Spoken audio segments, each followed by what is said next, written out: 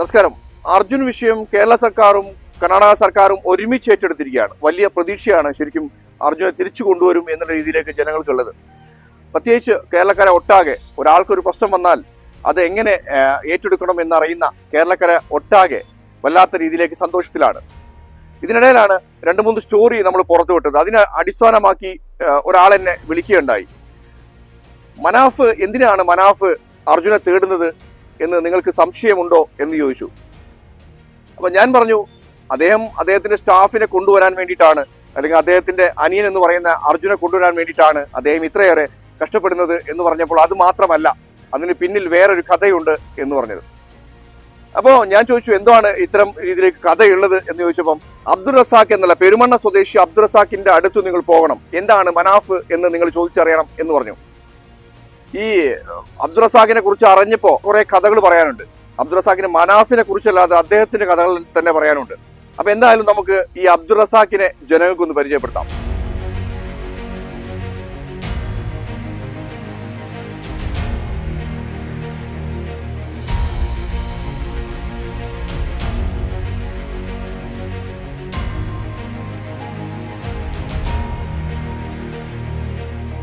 അപ്പോൾ നമ്മളിപ്പോൾ പെരുമണ്ണയുള്ള റസാഖാന്റെ വീട്ടിലാണല്ലോ അപ്പോൾ റസാഖാനോട് കുറച്ച് കാര്യങ്ങൾ ചോദിച്ചറിയേണ്ടതുണ്ട്. അപ്പോൾ റസാഖാന്റെ വീട്ടിലേക്കാണ് നമ്മൾ പോണേ.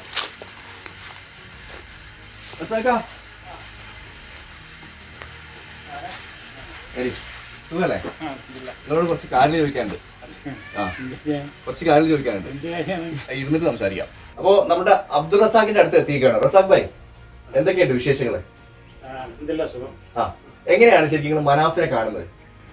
മനാഫിന് നേരത്തെ ഞാൻ ഫർണിച്ചറിന്റെ ഏർപ്പാടുള്ള സമയത്ത് മനാഫിൽ നിന്ന് മരം മേടിക്കൽ അത് ആഴ്ച ആഴ്ചക്ക് കളക്ഷൻ ആയിട്ട് അങ്ങനെ കൊടുക്കലൊക്കെ ആയിട്ടുള്ള ഇടപാട് നേരത്തെ മുതൽ ശരി എത്ര വർഷം നിങ്ങൾ മരഫീൽഡിലുണ്ടായിരുന്നു ഞാൻ രണ്ടായിരത്തി നാല് മുതൽ ഏകദേശം മരത്തിന്റെ ഫീൽഡിലുണ്ട്. തിരക്കല്ലാത്ത ഒരു സ്ഥാപനം ഒരു പത്ത് മുപ്പത്തഞ്ച് പേര് ജോലി ചെയ്യുന്ന ഒരു ഈർച്ച മില്ലും ഒന്ന് രണ്ട് ഫർണിച്ചർ ഷോപ്പും എല്ലാം ഉണ്ടായിരുന്നു. അപ്പൊ അതിൽ മനാഫിന്റെ അടുത്തും വേറെ പല ആൾക്കാരുടെ എടുക്കുന്ന കൂട്ടത്തിൽ മനാഫിന്റെ അടുത്തും കുറെ മരം കട്ടിനായിട്ട് എടുത്തുകൊണ്ടിരുന്നതാണ്. ആ. അതിന് ശേഷം നോട്ട് വിനോദനൊക്കെ പാടെ വന്ന് ബിസിനസ് ആകെ ആ. നാശമായി പൊട്ടി. പൊട്ടി പൊളിഞ്ഞു പോയി. കേരളത്തിന്റെ ഒരു തലം മുതൽ കാസർഗോഡ് മുതൽ തിരുവനന്തപുരം വരെയും പാലക്കാട് വരെ ഒക്കെ ഞാൻ സപ്ലൈ ചെയ്തിരുന്ന നൂറുകണക്കിന് ഷോപ്പുകൾ അപ്പൊ ഈ നോട്ട് വിനോദനം കാരണം പല സ്ഥാപനങ്ങളും അടച്ചുപൂട്ടപ്പെട്ടു. അങ്ങനെ എന്റെ ഒരുപാട് പൈസ ബ്ലോക്കായി അപ്പം ഞാൻ കൊടുക്കാനുള്ളവരൊക്കെ അതൊന്നും സ്വീകാര്യമല്ലാതെ വല്ലാത്തൊരവസ്ഥയിലേക്ക് കടന്നു. വീ- നിന്ന വീട് വിറ്റ് കോളേജിൽ കോളേജിലുണ്ടായിരുന്ന വീട് വിറ്റ് മാക്സിമം പരമാവധി എല്ലാ കടം പോയി എന്നിട്ടും കുട്ടിക്കാട്ടൂരിൽ പിന്നെ ചെറുതായിട്ട് ഒരു യൂണിറ്റ് ഒക്കെ തുടങ്ങി വെച്ച്. അവിടുത്തെ ഒരു നിർമ്മാണ യൂണിറ്റിനായിട്ട് ഒരു ഇരുപത്തഞ്ച് സെന്റ് സ്ഥലം മകന്റെ പേരിൽ വെച്ചിരുന്നു.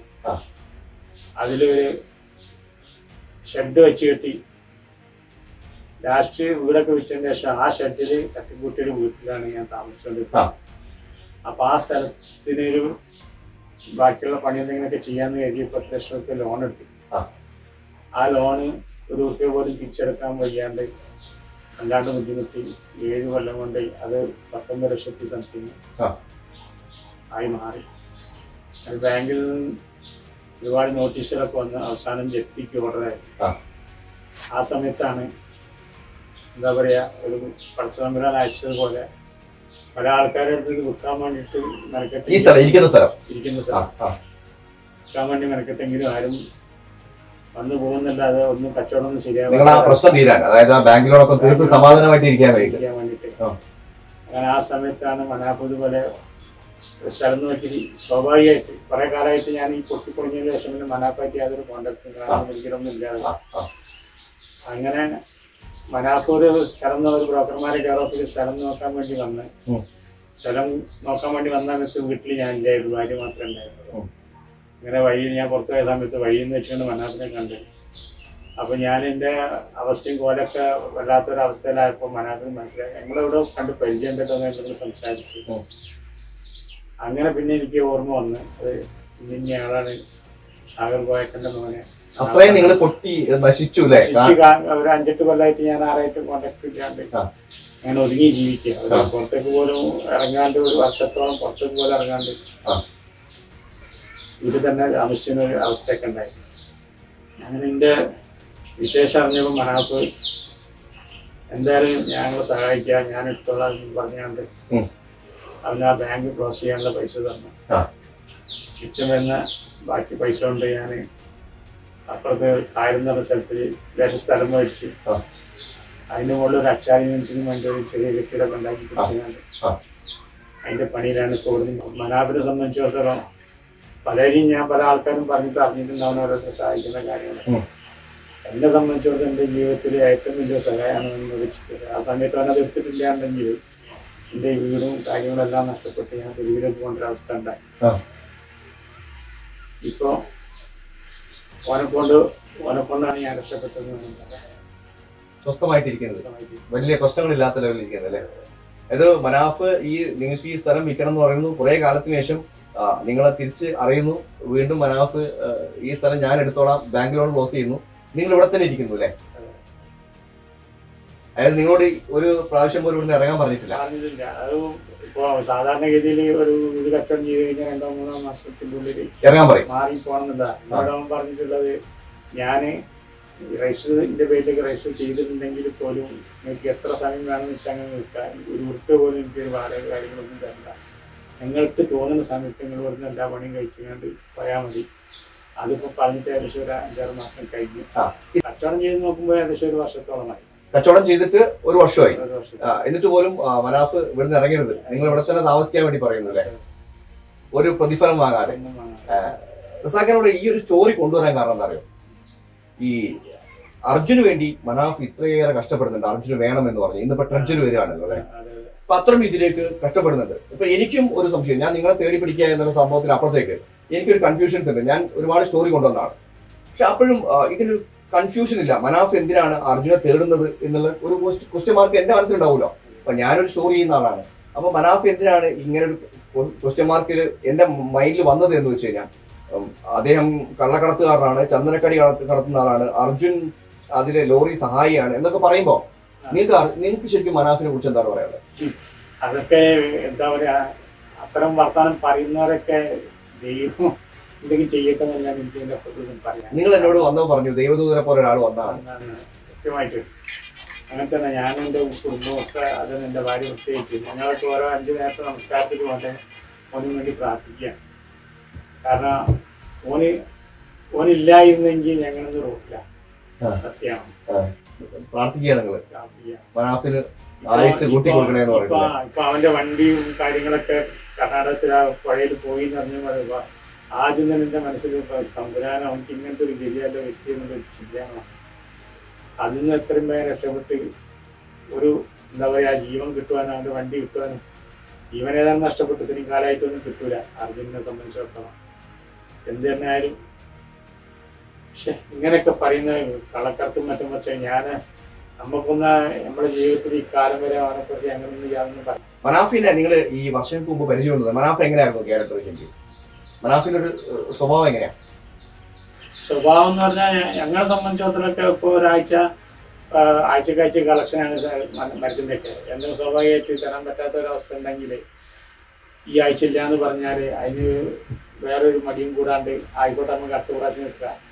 അതിനെപ്പറ്റി ഞങ്ങൾ ടെൻഷൻ അടിക്കില്ല അത്തരത്തിലുള്ള മനോഭാവമുള്ള ആളാണ്. അവനൊന്നും ഒരിക്കലും അങ്ങനെ എന്താ പറയാ എന്റെ ജീവിതത്തിൽ ഇക്കാലം വരെ നല്ലതായിട്ടുള്ളതുകൊണ്ട് അവന് വേറെ ഒന്നും പറയാനില്ല റസാഖിനെ കുറിച്ച് വലിയൊരു സ്റ്റോറി ഉണ്ട്. ഞാൻ അന്വേഷിച്ച് കണ്ടുപിടിച്ച സാധനമാണിത് റസാഖ് എത്രത്തോളം ശരിയുണ്ട് റസാഖ് മുന്നിലിരിക്കുന്നുണ്ട്.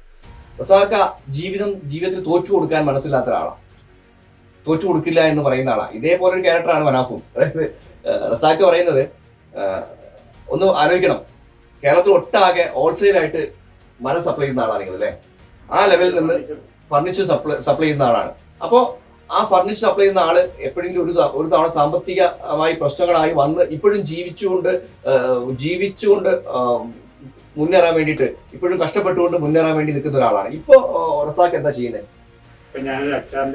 അച്ചാർ കമ്പനി കുറച്ച് മുമ്പ് ബിരിയാണിയുടെ ബിരിയാണി എന്തെങ്കിലുമൊക്കെ ചെയ്യണല്ലോ. അതെ. ബിരിയാണി ഒക്കെ പാടായിട്ട് റോഡ് സൈഡിൽ.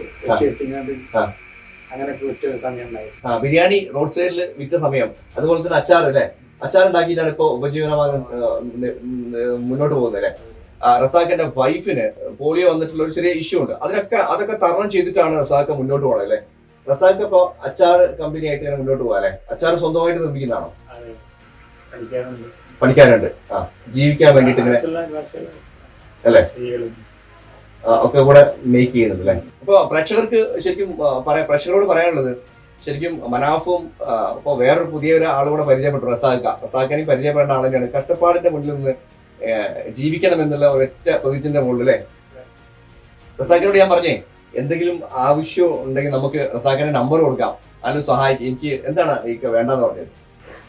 ഞാൻ അത് എന്റെ സന്തോഷവും ദുഃഖവും ഒക്കെ പഠിച്ച മന്ത്രാണ് എനിക്ക് തരുന്നത്. അപ്പം എന്നും ഇങ്ങനെ ആവില്ല. റബ്ബ് ഒരു നല്ല കാര്യം എനിക്ക് തരും. നല്ല കാര്യം പോലത്തെ ഞാൻ ജീവിച്ചതാണ്. ഇനി ഒരു നല്ല കാര്യം എനിക്ക് തരും. അധ്വാനിക്കാൻ വേണ്ടിട്ട് അധ്വാനിക്കാനുള്ള ആരോഗ്യത്തെ മാത്രം തന്നാൽ മതി. രാജാവിനെ പോലെ ആര്യന്റെ പത്ത് പതിമൂന്ന് ലക്ഷം റുപ്യുള്ള വണ്ടിയായിട്ട് ഞാൻ അങ്ങോട്ട് ഈ സ്ഥലത്തേക്ക് വന്നിട്ടുണ്ട്. ആ. മോഡൽ തന്നെ ഇപ്പൊ ഇല്ല. ആ. അത്രയും ലെവലിലേക്ക് ഡെവലപ്പ് ആയിട്ടില്ലേ? പറഞ്ഞിട്ടുണ്ട്. നഷ്ടപ്പെട്ടു നഷ്ടപ്പെട്ടു. പക്ഷെ കാലാകാലം അങ്ങനെ ആവില്ല എന്നുള്ളൊരു വിശ്വാസം ഒരു ദിവസം നമുക്ക് വരും. തീർച്ചയായിട്ടും. വരും. തീർച്ചയായിട്ടും. ഉറപ്പായിട്ടും ഒരു ദിവസം വരും. ഇപ്പൊ ഏകദേശം ഇപ്പൊ നിങ്ങളിപ്പോ ജീവിച്ചുകൊണ്ടിരിക്കുന്നു. കുറച്ചു കാലം കഴിഞ്ഞ് കഴിഞ്ഞാൽ അല്ലെങ്കിൽ എന്തെങ്കിലുമൊക്കെ അല്ലേ, മരപ്പണി വീണ്ടും സ്റ്റാർട്ട് ചെയ്യാനുള്ള പരിപാടി ഉണ്ടോ? നിങ്ങൾക്ക് ഇഷ്ടമുള്ള ഫീൽഡ് അല്ലേ അത് ശരിക്കും? അറിയുന്ന ഫീൽഡ് അല്ലേ. ആ. അറിയുന്ന ഫീൽഡാണ് ലക്ഷങ്ങൾ കടിച്ചുകൊടുത്ത് ഇപ്പം പത്ത് ഇരുപത്തഞ്ച് അച്ചാറും കാര്യങ്ങളും വിറ്റ് ജീവിക്കുന്നത്. മറ്റേ ലക്ഷങ്ങളുടെ ആക്കിക്കൊണ്ടിരുന്ന ആളാണ് അതൊക്കെ ഒരു സമയം എന്ന് മാത്രമേ ഞാൻ വിശ്വസിക്കുന്നുള്ളൂ. അങ്ങനെ തന്നെ തളർത്താൻ പഠിച്ചാൻ വിചാരിച്ചിരുന്നെങ്കിൽ മനാത്ത് കൊടുക്കില്ലായിരുന്നു. ആ. ഒരു സപ്പോർട്ട് തന്നു അല്ലേ? നിങ്ങൾ ജീവിക്കും എന്ന് പറയാനുള്ള അല്ലേ തീർച്ചയായിട്ടും. റസാഖിന്റെ ഒരുപാട് കാര്യങ്ങൾ റസാഖ് പറയാൻ വേണ്ടി വേണ്ട എന്ന് പറഞ്ഞതിന്റെ അടിസ്ഥാനത്തിലാണ് പറയാത്തത്. അപ്പോ എന്തിനാണ് അർജുനെ വീണ്ടും വീണ്ടും മനാഫ് തിരയുന്നത്? എന്നതിന് ഉത്തരം ജനങ്ങൾക്ക് കുറച്ചേൽ കൊടുക്കണമല്ലോ. അതായത് ഞാൻ കൊണ്ടുവന്ന സ്റ്റോറിയിൽ ആ സ്റ്റോറിക്ക് തന്നെ കൺഫ്യൂഷൻസ് ഉണ്ടാക്കുന്ന സൃഷ്ടിക്കുന്ന ആളുകളോട് എനിക്ക് പറയാനുള്ളത്. നമ്മൾ എപ്പോഴും മനുഷ്യനായി ജീവിക്കുക എന്നുള്ളതാണ്. ഇദ്ദേഹം പറഞ്ഞ പോലെ തന്നെ പടച്ചവൻ ഒരു ദിവസം എനിക്ക് തരും അല്ലെ? തരും. അതാ എല്ലാവരും പ്രതീക്ഷയാണ്. നമ്മൾ ഇല്ലാന്ന് വിചാരിക്കേണ്ട. നമ്മൾ നമ്മൾ ട്രൈ ചെയ്തുകൊണ്ടിരിക്കുക നൂറ് ശതമാനം നമ്മളെ രക്ഷപ്പെടുത്താനുള്ള വാതിലുകളൊക്കെ ചില സമയത്ത് ഓപ്പൺ ചെയ്യും അല്ലേ? അല്ലെങ്കിൽ ശരിക്കും വർഷങ്ങളായിട്ടുള്ള ഒരു ബന്ധമുള്ള മനാഫ് നിങ്ങളെടുത്ത് വരേണ്ടിയില്ല നിങ്ങൾ തന്നെ പറഞ്ഞാണ്. ഇല്ലേ? അത്രയും രീതിയിലേക്ക്. അപ്പൊ അങ്ങനെ ഒരുപാട് ആൾക്കാർ ഈ സ്ഥലം നോക്കാനും കച്ചവടം ചെയ്യാൻ വേണ്ടി വന്നിട്ടുണ്ട്. നഷ്ടപ്പെട്ടു പോയത്. അത് ശരിക്കും മനാഫിന് വേണ്ടി വെയിറ്റ് ചെയ്ത സ്ഥലമാണ് മനാഫ് എടുക്കാൻ വേണ്ടി വെയിറ്റ് ചെയ്ത സ്ഥലം അല്ലേ? ഒരു സമയത്ത് എന്ന് പറയാം അല്ലേ? ഹാപ്പി അല്ലേ നിങ്ങളെ? ഇപ്പൊ ഈ സാമ്പത്തികം ഒഴിവാക്കി നിർത്തിയാൽ സാർക്ക് ഹാപ്പി ആണോ? ഏറ്റവും സന്തോഷം കാരണം കാര്യപ്പെട്ട തലയിൽ മാറി. അതെ. ഒഴിവായി മനുഷ്യർ ഏറ്റവും വലിയത് സുഖം സ്വസ്ഥം സ്വസ്ഥത സമാധാനം എന്നുള്ള സാധനം. ഈ മൂന്നും വന്നു കഴിഞ്ഞാൽ ഓട്ടോമാറ്റിക്കലി നമുക്ക് എന്ത് ചെയ്യും? ഇപ്പൊ നിങ്ങൾക്കൊരു പ്രതീക്ഷ ഉണ്ടാവും. എന്നെ ആരും ഡിസ്റ്റർബ് ചെയ്യുന്നില്ല. എനിക്ക് ജീവിതത്തിൽ ഉയരണം എന്നുള്ള രീതിയിലേക്ക് നിങ്ങൾ ചിന്തിക്കുന്നുണ്ടാവും ഇപ്പൊ. ഇത് ഇറിറ്റേഷൻസ് ബാങ്കുകാരുടെ ജപ്തി അതുപോലെ തന്നെ ബാങ്കുകാരുടെ പ്രശ്നങ്ങളൊക്കെ ഓട്ടോമാറ്റിക്കലി വന്നു കഴിഞ്ഞാൽ നമ്മുടെ അത് ചിന്തിക്കാനുള്ള കഴിവുകൂടെ നഷ്ടപ്പെടും. അതിൽ നിന്നൊക്കെ മാറ്റം എനിക്ക് വന്നത് അവൻ അവൻ എന്റെ ജീവിതത്തിലേക്ക് വന്നതാണ് എന്തായാലും റസാക്ക ഞാനും കൂടെ പറയാണ് ഒരു ദിവസം ഉണ്ടാവും. ഒരു ദിവസം നല്ല സക്സസ് ആയിട്ട് എന്താണ് പറയാ? ഞാൻ പറയുന്നത് നിങ്ങളുടെ അച്ചാറുണ്ടല്ലോ? അച്ചാറില്ലേ? ഞാൻ ഞാനായിട്ട് നിങ്ങളുടെ അച്ചാറിനൊരു വീഡിയോ ഞാൻ ചെയ്തുതരാം. അല്ല ഞാൻ പറയുന്നത് എന്നെ കൊണ്ട് ചെയ്യാൻ കഴിയുന്ന സാധനമാണ് ഞാൻ പറയുന്നത്.